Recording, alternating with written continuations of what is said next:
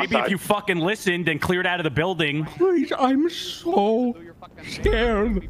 Please. Jesus! That's my special forces right there. Oh God. Okay, he's down. Good, good shot, soldier. It's the best police department I've ever seen in my life.